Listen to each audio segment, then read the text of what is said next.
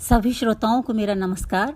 मैं रेनू अंशुल हूँ एक लेखिका हूँ और एक लेखिका होने के नाते यह मेरा फ़र्ज़ बनता है कि मैं अपनी लेखनी के माध्यम से साहित्य के माध्यम से सामाजिक सेवा करूँ, लोगों तक अपने विचार पहुंचाऊं और मैं बहुत आभारी हूँ कि आकाशवाणी रामपुर ने मुझे ये मौका दिया कि देश के इस कठिन वक्त में इस कोरोना जैसी महामारी से जूझते जन जन में मैं अपनी बात और अपने विचार से कुछ उत्साह भर सकूँ, कुछ हिम्मत उन्हें दे सकूँ, कुछ आशा का संचार उनके भीतर कर सकूँ, ताकि हँसते हँसते वो इस कठिन दौर से विजयी होकर निकल सकें।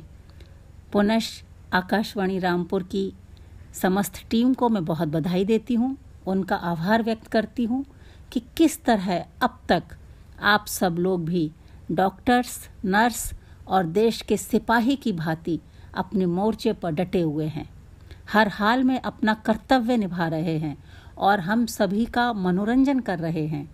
खुद घर से बाहर निकलकर भी हमें घर में सुरक्षित रहने का संदेश दे रहे हैं और हमें घर बैठे बैठे ही देश के वर्तमान हालातों से अवगत करा रहे हैं।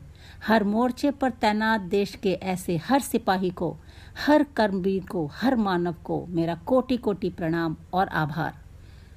आकाशवाणी रामपुर अपने जन जागरण के प्रयासों में माननीय प्रधानमंत्री द्वारा समय समय पर देश की जनता को दिए गए उद्बोधन एवं कोरोना से बचाव के तरीकों के बारे में भी ज्ञानवर्धक सूचनाओं से हमें अवगत कराते रहे हैं।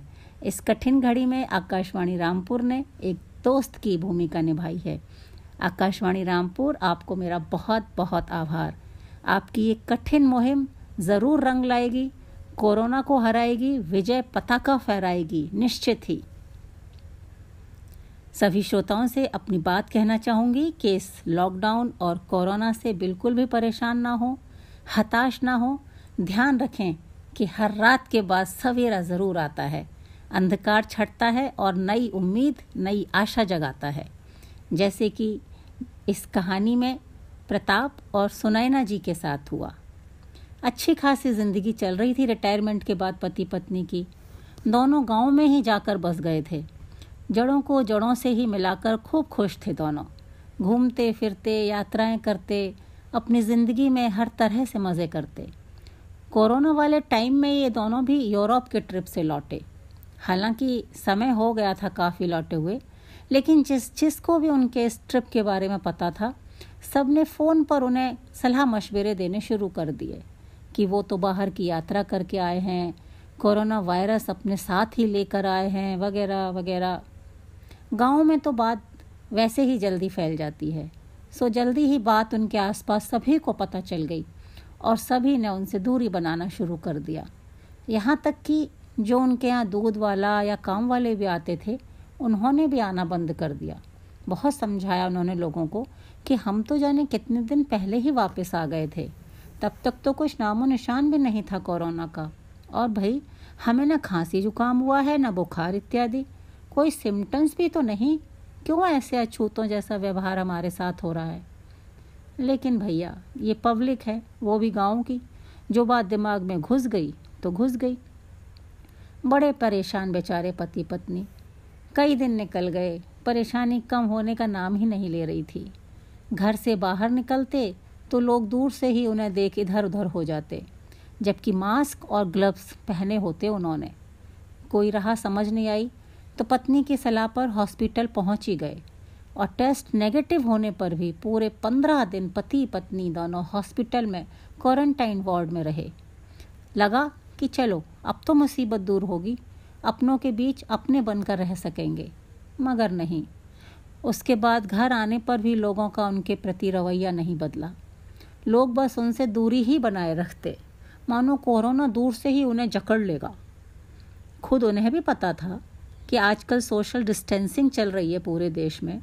लॉकडाउन पहले 21 दिनों का, उसके बाद फिर दोबारा बढ़ जाना, घर से बाहर सामान इत्यादि लेने के लिए निकलने पर मास्क का प्रयोग करना, हाथ धोना, सैनिटाइज़र यूज़ करना, सामान अच्छे से धोकर प्रयोग में लाना वगैरह वगैरह। वो दोनों तो इन सब के साथ खुद अपने मन से भी लड़ रहे थे। एक लॉकडाउन बाहर चल रहा था, एक उनके भीतर। हॉस्पिटल से आने के बाद तो ज़िंदगी और कठिन लगने लगी थी उन्हें। लोगों को समझाएँ भी तो कैसे? लोग उनसे जब दूर ही भागेंगे तो फिर कैसे? कुछ सोच विचार कर उन्होंने डॉक्टर साहब से ही बात की और उन्हें राज़ी किया गाँव के लोगों को कोरोना के विषय में सब सही सही जानकारी देने के लिए। हालाँकि लोगों को इकट्ठा करना समझदारी नहीं था लेकिन जिस तरह सरकार समाचार पत्र, रेडियो और टीवी के माध्यम से अपनी बात जन जन तक पहुँचा रही है, डॉक्टर साहब को भी ख्याल आया कि वो भी इसी तरह अपनी बात सब तक पहुँचा सकते हैं। लोगों को जानकारी भी मिलेगी और सही सही जानकारी के बाद इन बेचारे पति पत्नी की भी मुसीबत भी दूर होएगी। ख्याल आते ही डॉक्टर साहब ने कोरोना वायरस से संबंधित पूरी जानकारी का एक वीडियो अपने मोबाइल पर बनाया और सबसे पहले गाँव के मुखिया जी को भेज दिया। साथ ही उनको फ़ोन भी कर दिया कि इसे खुद भी देखें, समझें और गाँव में सबको समझाएँ भी। क्योंकि प्रॉब्लम को बढ़ाना कहाँ की समझदारी है? ये वक्त है एक दूसरे का साथ देने का, हिम्मत देने का, सही बातों के पालन करने का, ना कि ज़बरदस्ती बेकार की भ्रांतियाँ पालने का।